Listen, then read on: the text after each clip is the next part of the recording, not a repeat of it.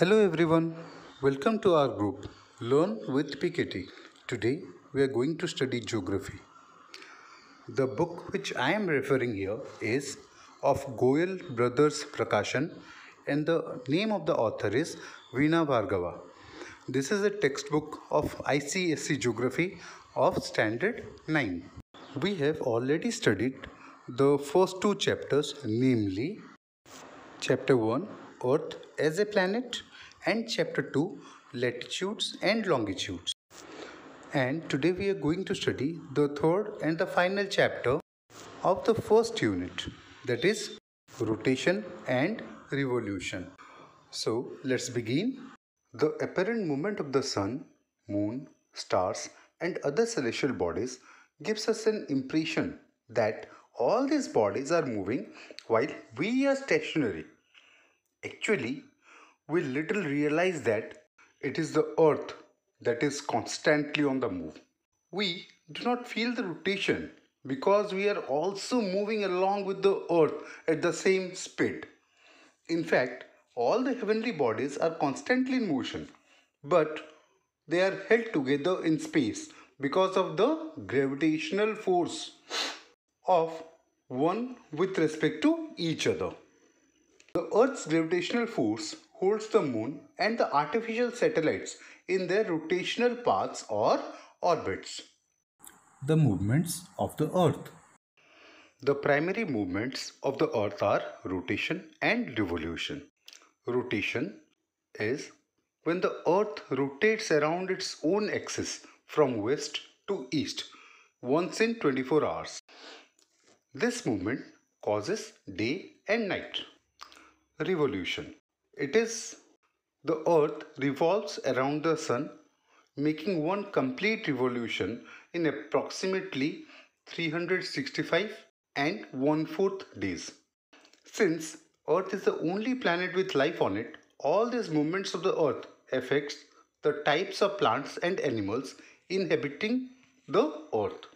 Because of the varying amount of sun's heat reaching the various parts of the earth due to the earth's spherical shape and inclination of the axis, the amount of insolation, otherwise known as the incoming solar radiation, varies from place to place.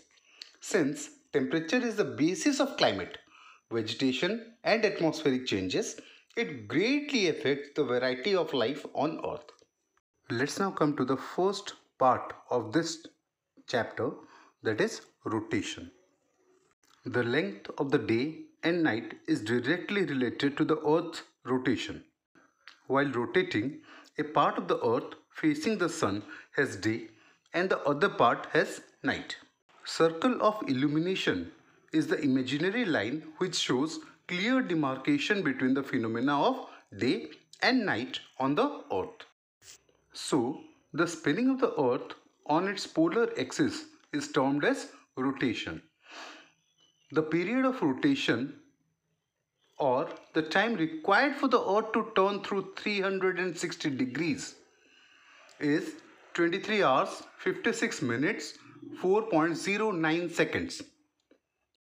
This period is termed as the sidereal day and is determined by the stars. Now let's talk about the effects of the speed of rotation. Firstly, all the moving bodies on the earth's surface, that is, ocean currents and winds, are deflected towards the right in the northern hemisphere and left in the southern hemisphere due to Coriolis force created because of the rotation of the earth. This is called Ferrel's law. Secondly, the cyclones and the anticyclones are also deflected in both the hemispheres, causing atmospheric changes. Finally, it affects the pressure belts and the movement of the air on the Earth's surface. The bulging of the air at the equator and the flattening at the poles takes place due to different speed of rotation. Let us now discuss the effects of rotation. First point is rotation causes day and night.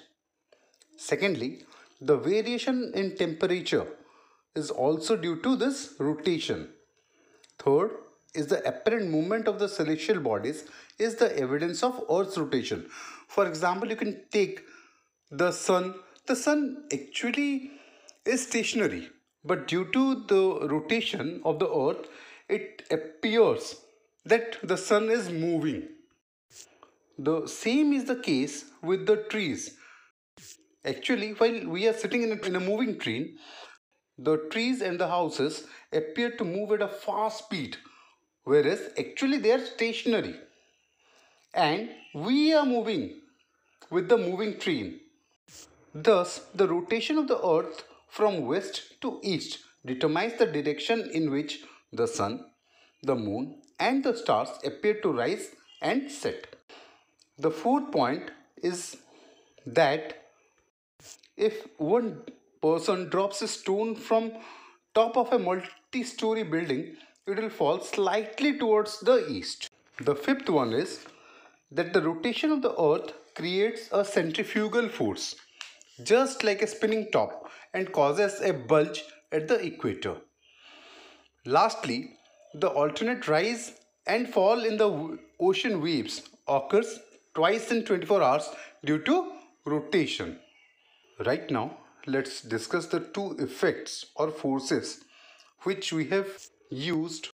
The first one is the Coriolis effect and the second one is the centrifugal force. The Coriolis effect. It was first described in 1835 by a French scientist by the name Gustave Coriolis.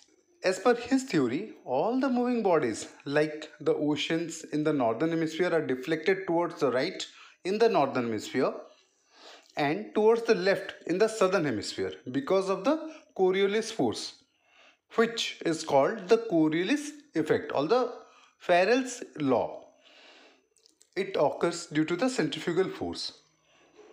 It is because of the rotation of the earth and difference in the speed as we go towards the poles. As latitude increases and the speed of the earth's rotation decreases, the Coriolis effect increases. It is absent at the equator but it increases as we go towards the poles. The centrifugal force. Centrifugal force is a force directed away from the axis of rotation and appears to act on all rotating objects around an axis. Therefore, as the earth rotates about its axis, it experiences a centrifugal force directed away from its axis of rotation just like a spinning top and causes a bulge at the equator. It balances the force that is responsible for its rotation called the centripetal force. Let's now come to the second part of the chapter that is the revolution. The motion of the Earth along its elliptical orbit around the Sun is approximately 365 1 by 4 days and it is termed as revolution. The period of revolution or year is the time required for the Earth to complete one circle around the Sun. Every 4 years, the extra one-fourth day difference between the tropical year and the calendar year of 365 days is taken as one whole day and this is added to the month of February in every 4 years. Hence, every 4 years it is a leap year. Do you know the mean distance between the earth and the sun is about 150 million kilometers. The earth is said to be in perihelion on 3rd January when the distance is the least or about 147 million kilometers. On July 4th, the Earth is at its farthest point from the Sun and is said to be in an aphelion at a distance of 152 million kilometers. These differences in the distance do cause some difference in the amount of sun's energy received by the earth. The mean velocity of the speed of the earth is about 1 lakh 7000 kilometers per hour or 30 kilometers per second but varies according to the path of the orbit occupied. The velocity is the greatest at perihelion and the least at aphelion. The earth spins on an imaginary line called axis. The north of this line is called the North Pole and the south of this axis is called the South Pole. The earth rotates on this axis but it is not at right angle to the plane of the revolution. It makes an angle of 66 and a half degrees with the plane of ecliptic and is tilted 23 and a half degrees from the line perpendicular to that plane. Two points must be kept in mind. The earth's axis keeps a fixed angle with the plane of the ecliptic. And secondly, the axis always points to the same direction during the period of its revolution. Dear learners, do you know what are the effects of the inclination of the axis? The alteration of the seasons. The inclination of the axis has important consequences. Because of its tilted position, each pole is inclined alternatively towards the sun twice a year. When it is summer in the northern hemisphere, it is inclined towards the sun and the south pole is away. Hence, southern hemisphere experiences winter. Similarly, during winter, the north pole is away from the sun and the south pole is inclined towards it. Hence, it is summer in the southern hemisphere. If the axis were perpendicular to the place of the ecliptic, every place on the earth's surface would have had 12 hours of day and 12 hours of night and there would be no seasons. The earth completes one revolution on its elliptical orbit in 365 1 by 4 days. Because of the inclination of the axis and the fact that its north pole is always directed to the pole star, the earth experiences variation in temperature and in the length of the day and night, which affects the main season throughout the year. Now, let's talk about the effects of revolution. The Earth's revolution round the Sun with its axis inclined at 66 and a half degrees to the plane of the ecliptic changes in the apparent altitude of the midday sun. The sun is directly overhead at the equator on March 21st and September 22nd. Though at times it is referred as September 23rd because the year is not exactly 365 days. These two days are termed as spring and autumn equinoxes respectively. After the spring equinox, the sun appears to move north and is directly overhead Tropic of Cancer on June 21st. This is termed as summer solstice. The northern hemisphere has its longest day and shortest night on June the 21st. On December 22nd, the sun shines it on the Tropic of Capricorn in the southern hemisphere. The northern hemisphere has its winter solstice at this time as the earth receives oblique rays of the sun beyond the Tropic of Cancer.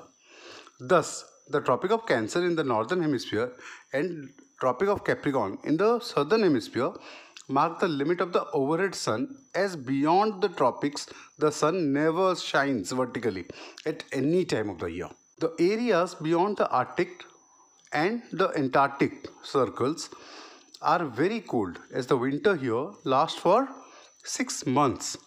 Hence the darkness and summer is very short as the sun is never overhead. The apparent movement of the sun within the tropics varies very little from its vertical position at noon every day. Hence, days and nights are equal throughout the year. Now, let's talk about the varying length of day and night.